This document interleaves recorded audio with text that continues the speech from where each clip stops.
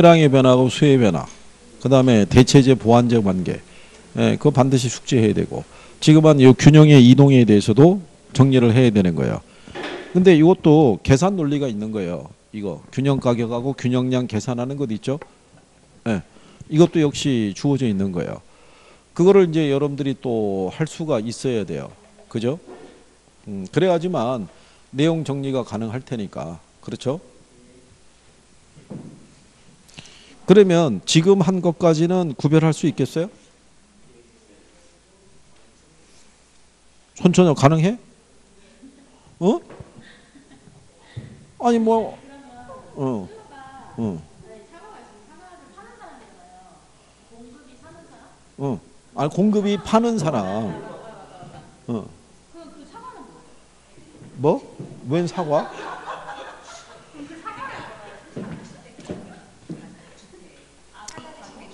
자, 예를 들어서 여기 수요 있으면 수요는 사는 사람. 여기 공급은 이거는 파는 어, 야, 그러니까 이거는 사는 양이라고 보면 되고요. 이거는 파는 양이라고 생각하면 돼요. 그죠? 이게 예, 그럴 때 지금 뭐 손천여가 얘기한 대로 자 사과가 있다 이거야. 균형 상태에서는 사려고 하는 양이 몇 개? 100개. 파려고 하는 양이 몇 개? 100개. 이게 균형 상태라는 거야. 균형 상태인데 예를 들어서 이 사려는 사람을 우리가 수요자라고 그러고 팔려는 사람을 공급자라고 그랬을 때 수요자의 수가 늘어났어. 그래서 사려고 하는 양이 150개로 늘었어.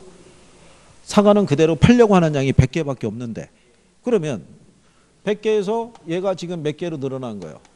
150개. 그렇잖아. 그러면 지금 무슨 상태가 되겠어? 초과수에만 가격은 어 그러면 거래량은 어떻게 돼? 늘어났잖아. 150개로. 거래량은 사겠다는 사람이 150개가 필요하다고 나왔어. 근데 공급은 그대로 100개밖에 없는 거야. 그렇잖아. 초과수의 상태가 되니까 가격은 뭐 한다는 거예요? 상승한다고. 무슨 말 이해하시겠어요? 이거? 그러면 한번 이렇게 생각해 봐요.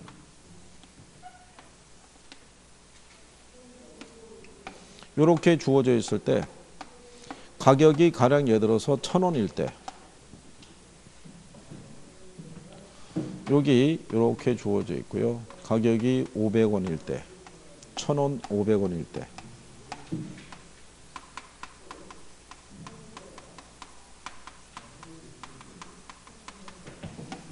요때는 얘도 100개, 얘도 100개.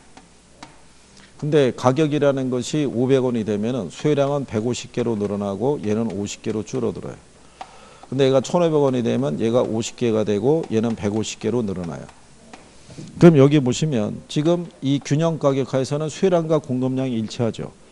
근데 가격이 만약에 1,000원에서 500원으로 하락하면 수요량은 늘어나지만 공급량은 줄어들잖아요. 이 상태가 무슨 상태? 초과 수요면 가격은 상승할 거 아니에요. 어? 근데 이 상태가 되면은 가격이 상승했잖아요. 상승하게 되면 수요량은 줄 거 아니야. 근데 공급량은 늘어나면 이건 무슨 상태? 초과 공급이면은 가격은 어떻게 돼요? 하락할 거 아니에요. 이게 이제 여기다 들어가는 거 아니에요. 이게 이- 이해하겠어? 어? 그래가지고 단초를 잡아가지고 본인이 정리를 한번 해야 된단 말이에요. 그래야지만 내용을 이거 풀어갈 수 있을 거 아니에요. 중요한 거는 시험장에 제가 같이 따라 들어가 가지고 1번은 답을 홀수에서 찾는 게 빠르죠. 그 중에 3번은 제하시고 5번도 빼고 어, 나머지를 선택하세요. 이렇게 해주면 얼마나 좋겠어요. 어? 시험장에 가서는 여러분들이 시험지를 받아들고 여러분들이 그거를 풀어낼 수 있어야 된단 말이에요. 어? 어, 그렇지 않으면 틀릴 거 아니에요. 어? 자, 만약에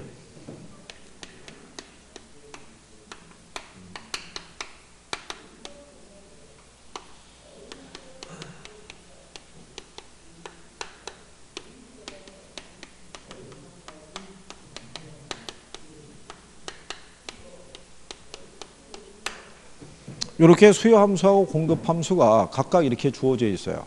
이렇게 이 상태에서 균형 가격과 균형 거래량을 계산하라고 그러죠. 그죠? 그러면 자, 우리는 균형 가격 하에서는 수혜량과 공급량이 어떻게 돼요?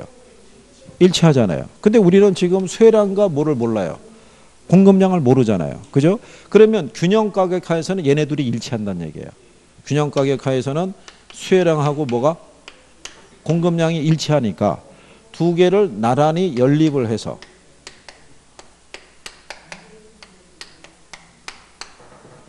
이렇게 우리가 표시할 수 있는 거예요. 이렇게 자 그럴 때 여기 요 등호가 있잖아요. 그럼 여기 120하고 30 있죠. 요 상수는 빼면 돼요. 빼면 되고 여기 부호 들어가 있죠. 얘들은 뭐 하면 되냐면 더 하면 돼요. 그러면 식이 간단하게 정리할 수 있는 거예요. 근데 원래 한다 그러면 이런 거예요. 요 숫자는 숫자끼리 묶어주고 부호는 부호끼리 묶어주는 거예요. 그러면 여기 있는 마이너스 2p가 일로 넘어갈 거 아니에요. 얘랑 가까워지려고. 그러면 마이너스니까 요 등호에서 넘어가면 플러스로 바뀌는 거예요. 근데 요 앞에 요 30이라는 애는 요 안에 플러스의 부호가 생략되어 있는 거예요. 그러니까 요 30이라는 애가 넘어가면 뭐로? 마이너스로 바뀌면 식을 빼- 정리하면은 이렇게 될 거 아니야. 120 마이너스 30은 그죠? 2p 플러스 뭐 p 이렇게 될 거 아니야. 넘어가면은 그죠? 그러면 그 다음부터는 이게 뭐예요? 더하기 빼기잖아요. 두 개 더하면 얼마? 120에서 30 빼면 90이잖아요. 그러면 p 있죠, p. 예. p가 얼마라는 거예요? 30이라는 얘기잖아요. 이게 3p니까. 그러면 우리가 뭐를 구했어요? 가격을 구했잖아요. 그러면 요 30이라는 거를 여기다 대입하는 거예요. p에다가. 그러면은 자, 120 마이너스 2 곱하기 얼마? 30은 30 플러스 30과 같다는 얘기잖아요. 그러면 2 곱하기 30 하면 얼마야? 120에서 60 빼면 30에다 30 더하면 그러면 얘는 60이잖아요. 어?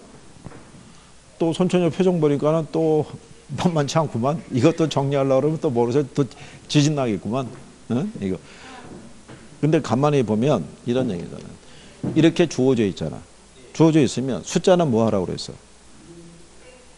빼, 아, 빼. 어. 120에서 얼마를 빼면 돼? 30. 그럼 얼마? 90. 부호는 더하면 90이 3피야. 어? 90이 몇 피? 3피. 근데 우리가 구하고자 하는 가격이잖아. 3피가 아니 3배가 아니잖아. 그럼 양쪽을 나누기 3을 하라고. 어? 그러면 얘는 없어질 테니까 피고 얘는 얼마야? 30 나올 거 아니야. 그러면 우리 여기 지금 가격을 몰랐잖아. 가격을. 근데 피가 이제 알았잖아. 얼마라고? 30이라고. 그럼 2 곱하기 30 하면 60이잖아. 그럼 120에서 60을 빼면은 수혜량이 60이란 얘기잖아. 그럼 균형 상태면 공급량도 60이 돼야 되잖아요. 그럼 30에다 30 더하면 얘도 60이잖아요. 응? 김총관 무슨 말인지 알겠어? 나머지 분들은 나오면 계산할 수 있나요? 연립 방정식이라고 보기도 무리가 있죠. 그냥 전 단순 논리이기 때문에 그냥 그 중학교 때 배웠던 연립 방정식 이런 개념도 아닌 거예요. 그냥 그냥 이거는 사칙 연산에서 덧셈 뺄셈만 할 수 있으면 풀 수 있는 거예요. 이거는 어? 자 만약에 수요 함수가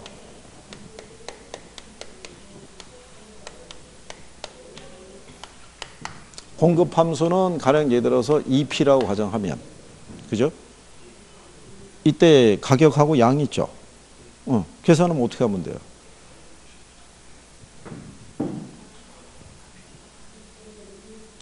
아니 얘는 그냥 얘끼리 묶어주면 되는 거예요. 그러면 1200이 몇 P라는 얘기예요? 3P잖아요 3P. 그러면 P는 얼마? 양쪽을 3으로 나누면 될 거 아니에요. 그럼 얘 400이잖아.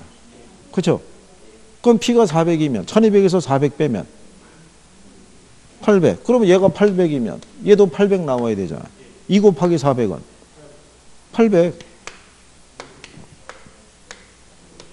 어?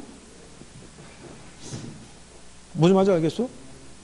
자, 그런데 만약에 수요 함수가 1500 마이너스 P가 됐대요. 얘는 그대로 2P고. 어떻게 하면 돼요? 1500이 몇 P? 얘들은 얘들끼리 묶어주면 된다 그랬잖아. 얘는 상수는 이거 하나밖에 없잖아. 그럼 그냥 1500이 몇 피라는 거야? 3피. 그럼 피는? 어? 나누기 3 하면 되잖아. 그럼 얘 500이잖아. 그럼 여기다 얘가 500이잖아. 1500에서 500 빼면 2 곱하기 500은 그럼 얘는 1000. 기출에서 이렇게 물어본 거예요. 이렇게. 간단하잖아요. 맞죠? 이거 무슨 뭐 계산기를 써야 될게또 있는 것도 아니고 이거 요령을 하는 사람은 암산으로 그냥 해서 끝나는 거예요, 이거. 어? 이게 처음에는 조금 낯설은데 시간이 지나면은 이 부분이 참 간단하다고 생각을 해요. 근데 여기도 이 정도 나오는 것도 틀려도 괜찮다 이거예요. 무슨 말인지 알겠죠? 이거 그 계산에 대한 부담이 있으시면 굳이 계산에 집착하지 않으셔도 돼요. 계산에. 천천히하고 아마 비슷한 성향을 갖고 있는 그 올해 나이가 서른 된 그 총각이 하나 있는데 작년에 도전했다가 실패하고 올해 다시 나왔어요. 다시 나왔는데 개로는 60점인가 62.5점 맞았대요. 근데 민법에서 성적이 조금 안 나와서 떨어졌는데 물어봤어요. 계산은 어떻게 했냐? 알려주신 대로 그냥 번호를 1년 번호로 놓고 찍었다고 하나도 푼 게 없다는 거예요. 근데 점 성적이 60점이 넘었다고요. 어? 그러니까 계산을 못 푼다고 6점이 안 나오는 그게 아니란 말이에요. 그러니까 학계로는 계산 과목이 아닌 거예요. 무슨 말인지 알겠어요? 어. 그리고 왜 계산에 대해서는 눈에 얘기하지만 저희가 다 해본 거예요. 계산 가지고 푸는 거 이렇게 풀어야 됩니다. 막 이렇게 해주죠. 근데 여러분들은 시험장에 들어가서 여기 물어보는 형식이 조금만 바뀌면 전혀 다른 애로 생각하고 답을 접근을 못 해요. 그러면 소용이 없잖아요. 저하고 풀 때만 풀리고 혼자 풀면 못 푸는 거는 그게 어떻게 푸- 푸는 실력이라 할 수 있어요. 근데 그게 안 되는 분들이 오히려 그 계산에 집착을 해요. 계산에. 근데 해도 소용이 없다고요. 응?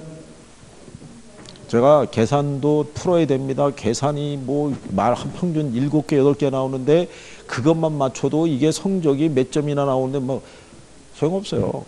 할 때만 뭐 이해 되시겠어요? 그러면 선생하고 눈이 마주쳤는데 어떻게 이해가 안 된다고 그러겠어요? 이해가 되겠습니까? 뭐 이렇게 얘기하죠. 그 다음에 모의고사나 시험 보면은 점수가 안 나오는 거예요, 거기는. 그러니까 그거에 그 하는 것보다 내가 할 수 있는 거를 더 잘하는 게 중요해요.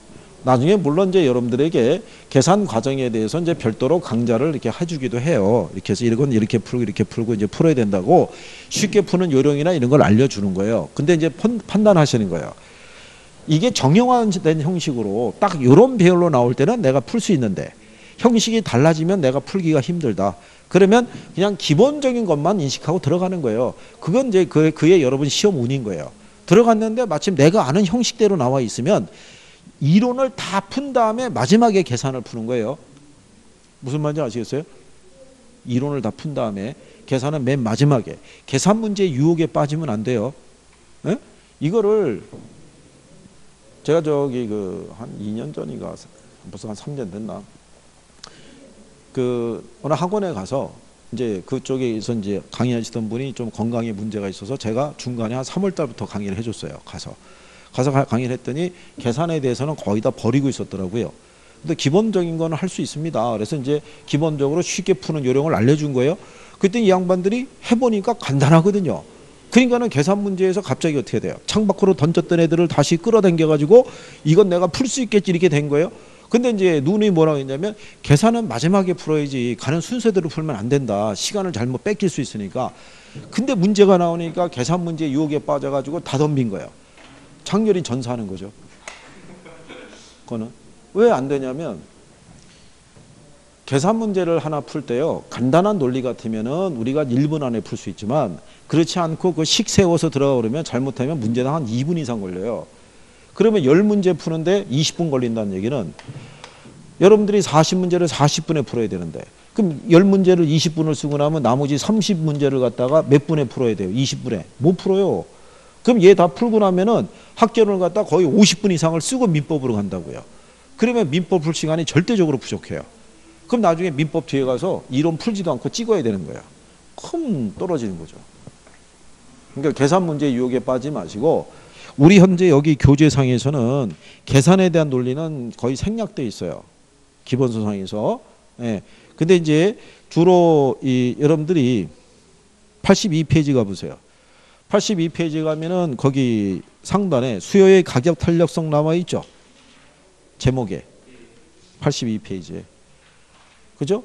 근데 거기 보면 자, 20회 계산, 21회 계산, 22회 계산, 24회 계산, 25회 계산 이렇게 나가 있죠. 주로 뭐 물어보는 거예요? 계산 문제. 작년도 여러분 시험 문제 계산 문제 나왔어요. 탄력성에서는. 근데 제가 뭐라고 얘기하냐면 그 계산에 대해서 굳이 그렇게 집착하실 필요는 없다 이거예요. 어? 안 되면 뭐 방법이 없는 거지 뭐 어떡하겠어요. 그죠? 그러니까 그런 건 신경 쓰지 마시고 예, 그래서 지금도 제가 보니까 갑자기 이렇게 계산 논리 나오니까 또 부담스럽고 또 그런 것 같은데 음. 근데 기본적인 거는 하나씩 달아보고 가야 돼요. 그래도 탄력성하고 균형이 있으면 얘가 조금 더 쉽게 나와요. 이게 실전에서 이렇게 나온 거예요. 이렇게. 그러면 자, 1200 마이너스 여- 이게 1200P고 얘가 2P였을 때 얘가 1500 마이너스 P로 바뀌었잖아요. 그러면 가격은 400에서 얼마로? 500으로 얼마 상승했어요? 100 상승했죠. 양은 400에서 얼마로? 아, 800에서 1000이니까 200 상승했죠. 예, 그걸 이렇게 물어보는 거예요. 그렇게. 여기서 일로 변했을 때 균형 가격과 균형 거래량의 변화가 어떻게 변하느냐 이런 거 출제하는 거예요. 그러니까 해볼 수 있는 것만 좀 해보시면 되죠. 너무 부담을 느끼지 마시고 그래서 균형 가격과 균형량 계산하는 기본적인 걸 해드렸고 3월 달 되면 또 해드려요. 3월 달 되면 또 하고 5월 달 되면 또 해요. 무슨 말인지 아시겠죠? 나중에 문제를 가지고도 또 해요. 이거를 그러니까 기본적인 거는 계속 다루게 해줘요. 그래서 혹시 기본적인 요건이 나오면은 간단한 거는 풀 수 있게끔 하는데 근데 이제 선생님이 바라는 거는 중간에 계산 문제가 껴 있다고 순서대로 풀면 안 되고 계산 문제는 마지막으로 몰아서 풀어야 되는 거예요. 무슨 말인지 아시겠죠? 어, 왜 우리 여사님 왜요? 뭐, 뭐 이동하셔야 되는 모양이죠? 아, 그럼 가셔야죠. 아, 팔순인데. 아, 그래서 혹시 예, 저기 할까봐. 아, 음, 아이 그래도 뭐 다른 것도 아니고 어머니 팔순인데 빨리 가보셔야죠. 예, 예, 예. 예. 아, 예. 우리도 조금만 조금만 더 하면 끝날 거예요. 예, 예. 예. 자, 우리 이제 81페이지 가면은 뭐가 있어요? 탄력성이 있어요. 탄력성. 자, 탄력성에 가게 되면요. 자, 원래 이 탄력성 개념이라는 건 그거예요. 지난번에 설명해 드렸지만 여러분들이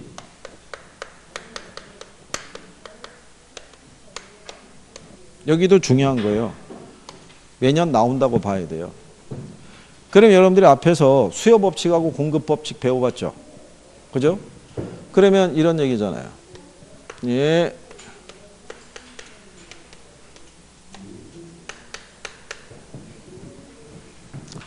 저게 참 이 공부하실 때 부담스럽죠. 이게 또 집안에 행사가 있는데 수업은 빠질 수가 없고 예전에 일요일 같은 때 특강하는데 그 한 분이 한복을 입고 왔어요. 왜 뭘까 그랬는데 알고 봤더니 그날이 동생 결혼식 날인 거예요. 근데 특강하고 걸려 있으니까 안 들을 수는 없고 결혼식은 참석을 해야 되고 막 갈등을 했나 봐요.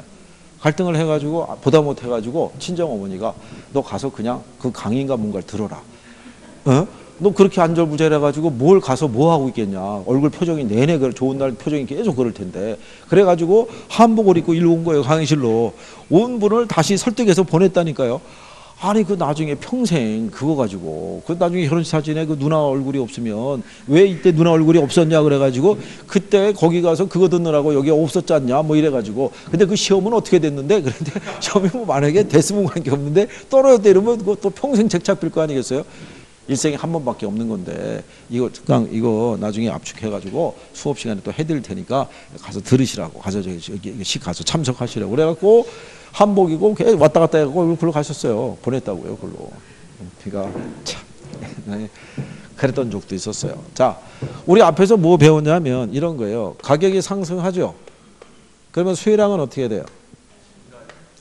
뭘 증가해? 감소하지. 참, 아주 방심할 수가 없네 둘은 그냥 어 아니 양쪽 사이드 저기 계신 분들은 조용인데 이쪽은 어 참.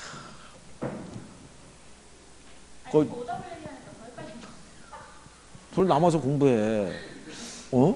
너 집에 가서 공부한다는 생각하지 말고 어? 너 이번 주는 그러니까 다음 주가 되면은 둘이서 협의해 가지고 어? 가까운 데 가서 간단하게 점심 먹고 여기서 그냥 공부하라고. 어? 여기서 공부하기 힘들면 옆에 조그만 강의실 있어. 거기서 공부하든 공부하라고.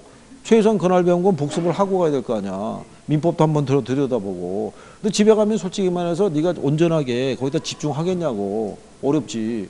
어? 남아서 공부하고 가라고 공부. 어? 참고로 여기 남아서 꾸준히 공부한 사람들은 대부분 다 돼. 꾸준히 가는 사람들이 문제가 있는 거지. 어? 참. 그럼 여기서 여러분들이 보시면 가는 방향은 우리가 알아요. 아는데 이 가격이 변할 때 얘가 얘가 몇 프로의 크기로 변하는지를 우리가 모르는 거예요. 어, 그러면은 우리가 지난번에 얘기한 것처럼 가령 예를 들어서 건설사 입장에서 분양을 갖다 촉진을 시키기 위해서 아파트 분양가를 인하를 했어요. 10%를. 그럼 얘가 인하가 되면은 얘가 늘어날 거 아니에요. 반대로.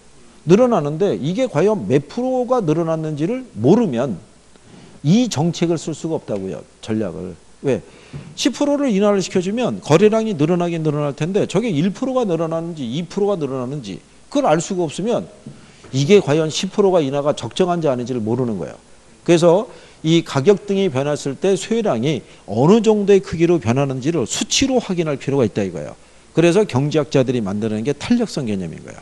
탄력성. 그러면 우리가 알고 싶은 거는 여기 있는 이 가격 등이 변했을 때 이 수요량이 과연 몇 프로의 크기로 변하는지를 우리가 확인하고 싶은 거 아니에요. 그렇죠? 그래서 거기 보면 자 종속 변수의 변화율을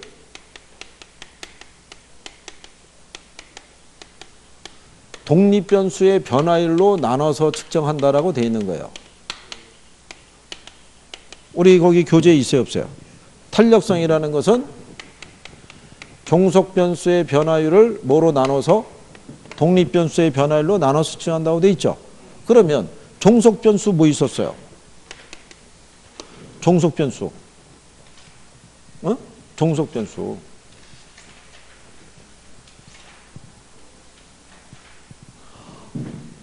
아까 아까 여기 보시면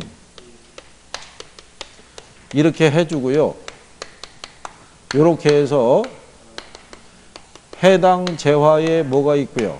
가격이 있고 소득이 있고 관련 재화에 가격이 있고 이런 거 아까 했어요 안 했어요? 했을 때 얘네 무슨 변수라고 그랬어요? 얘 무슨 변수라고 그랬어요? 그러니까 이게 수혜랑 변화율을 얘기한다고요. 에? 그런데 여기 보시면 요 수혜량을 변화를 주는 독립변수 있죠?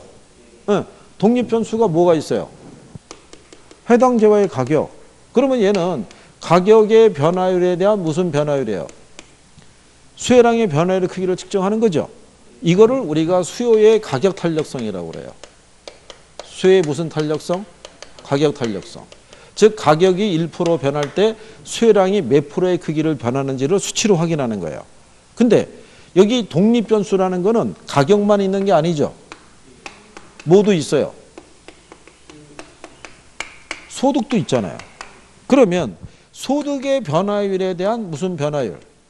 수요량의 변화율의 크기를 측정하는 것을 우리가 수요의 무슨 탄력성? 이걸 소득 탄력성이라고 얘기하는 거예요. 소득 탄력성. 그 다음에 여기 수요량이 변했을 때요. 자, 이런 얘기죠. 아파트의 수요량을 변화를 주는 거는 아파트의 가격이 변해서만 아파트의 수요량이 변화를 주는 게 아니라 즉 이런 얘기죠. 아파트 가격이 변하면 아파트 수요량이 변할 수 있어요, 없어요? 이게 이제 가격 탄력성이고. 근데 아파트의 수요량의 변화를 주는 거는 뭐가 변해서 빌라 가격이 변해서 그죠? 아파트의 수요량에 영향을 줄 수도 있어요, 없어요? 있죠. 이거를 측정하는 것을 수요의 교차 탄력성이라고 얘기하는 거예요. 무슨 탄력성? 교차 탄력성. 그래서 수요의 탄력성의 종류가 가격 탄력성과 소득 탄력성과 교차 탄력성이 세 가지가 있어요. 공급은 가격 탄력성밖에 없는 거예요. 무슨 말인지 하시겠나요? 네. 그거 얘기하는 거예요.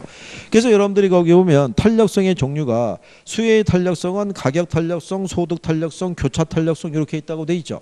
근데 공급은 무슨 탄력성밖에 가격 탄력성 하나밖에 없는 거예요. 이해하시겠나요? 그래서 이제 이 안에서 우리가 제일 중요한 게 뭐냐면 가격 탄력성이라는 거예요. 무슨 탄력성? 가격 탄력성. 그래서 여기서부터 다음 시간에 이제 한번 해보는 거예요. 가격 탄력성부터. 왜냐하면 이게 또 설명하다 보면 끊길 거예요. 끊기면 단원 중간에 끊기면 그러면 또 다음 주에 와서 처음부터 다시 해야 돼요. 왜 또 잊어먹고 있을 테니까. 그러면 다음 주는 요 탄력성만 맞추면은 수요 공급 이론은 다 끝나는 거예요. 그리고 경기 변동도 끝날 거고요. 그러면 시장론 쪽으로 들어가게 될 거예요. 음. 아, 이 중에서 얘만 이 가격 탄력성만 이게 붙어요. 이게 절대값이 붙는 거 왜 그러냐면 이 가격 탄력성은 이 수요 법칙을 반영한 거예요. 가격이 상승하면 수요량은 어떻게 돼요? 줄죠. 그럼 이런 얘기잖아요. 가격이 만약에 10%가 뭐 하면 상승했을 때 그러면 수요량 여기 탄력성의 수치가 5라고 주어지면 얘가 5%가 줄었다는 얘기라고요. 그럼 마이너스 얼마야? 5%라고. 그럼 10분의 마이너스 5 하면 얼마 나와요? 마이너스 0.5 나온다고. 그러면 이게 앞에 마이너스의 부가 붙으면 계산할 때 번거롭잖아요. 그럼 마이너스의 부를 없애려고 그러면 이 앞에 마이너스의 부를 하나 또 붙여주면 돼요. 마이너스 마이너스는 플러스니까. 그죠? 근데 그것도 일일이 마이너스 붙이기가 그렇잖아요. 그러니까 이걸 절대값으로 표시하는 거예요. 절대값이라는 거는 음수하고 양수에서만 성립이 돼요. 우리가 간단하게 들어서 원점이 있을 때 원점에서 1, 2, 3이 있고요. 이쪽에 와서 마이너스 1, 마이너스 2, 마이너스 3이 있다고 가정할 때 그럼 우리가 만약에 이게 3이라고 가정하게 되면 각각 원점에서 3칸 떨어져 있잖아요. 이거를 굳이 부호를 붙여갖고 구분할 필요는 없다라는 얘기예요. 그래서 그냥 절대값으로 표시하면은 뭐를 생략하겠다는 거예요. 부호를 생략하겠다는 거예요. 전부 다 플러스인 상태로 계산하겠다는 거예요. 그러니까 마이너스의 부호를 쓴다 안 쓴다? 안 쓰는 거예요. 그걸 여러분들 문제 조건에 줘요. 이 탄력성은 절대값을 기준으로 계산한 탄력성임. 그러면 지문 안에 마이너스의 부호는 다 없애는 거예요. 그냥 플러스인 상태로만 들어오는 거예요. 그것도 시험에 안 물어봐요. 어? 이론할 때만 얘기해 주는 거예요. 그러니까 그렇게 생각하고 안 되는 거는 내가 볼 때는 어, 여기 둘 저기 위한 얘기 아니라 나머지 시간이 되시면 하여간 무조건 남아서 공부해야 돼요. 그 공부하는 사람이 많아야 그게 분위기가 좋아지면서 합격자가 많이 나올 거 아니겠어요? 아까 얘기한 대로 가는 사람은 꾸준히 가고 아니 공부하려고 마음 먹었는데 혼자 남는 거야. 혼자 남으면 뻘쭘하잖아. 이 공간 안에. 최소한 못해도 두 사람 이상이 남아야 이 분위기가 유지가 되면서 또 서로 간에 모르는 거는 얘기도 좀 하면서 그러면 서로 잘하는 게 있을 거 아니야. 그래도. 그러면 또 설명도 해주고. 그래서 나름대로 스타디 형성하면서 그 내용 정리가 돼야 그 가는 거지. 집에 가면 솔직히 얘기해서 일단 오늘 큰일하고 간 거 아니야. 아침에 일어났을 때는 학원 학원 갈까 말까를 고민하다가 정신 차려 보니까 학원에 강의실에 앉아 있어가지고 어쨌든 수업을 들은 거 아니야. 그렇잖아. 얼떨결에. 그러면 집에 가면 오늘 큰일 한 거잖아요. 그러니까 나를 또 위로해 줘야 될 거 아니야. 야, 뭔가 괜히 뿌듯한 거 아니겠어요? 그럼 또 밥 한 끼 먹고 난 다음에 늘상 하던 거 뭐 이렇게 하다가 보면은 저녁이잖아요. 책을 볼까 그랬는데 밥도 먹었는데 지은이 또뭐 여기에서 뭐, 뭐 보리음료 한 잔 마시지 그러면 어, 그렇지 뭐 오전에 원래 큰일 했는데 저녁에 뭘 못하겠어. 가서 보리음료 한 잔 마시면 그냥 끝나는 거죠. 그래서 또 한 잔 마신 김에 들어와 가지고 심리적인 부담은 있으니까 또 동영상은 틀어놓는 거죠. 인강은 쫙 틀어놓고 소리만 조금 듣다가 정신 차려 보면 아침인 거죠. 그럼 또 학원 오기 바쁜 거죠. 그죠? 그러다 보면 어떨 때는 이 책도 잘못 갖고 올 때도 있다는 얘기죠. 그렇잖아요. 가방을 정리를 안 해가지고, 그렇잖아요. 그런 불상사가 되풀이되면 안 된다는 얘기죠. 그렇죠? 열심히 하시고, 그죠? 그러니까 혼자 어디 뭐 축구 그러니까 건강도 조심하시고 다음 주에 뵙겠습니다. 고생하셨습니다. 수고하셨습니다.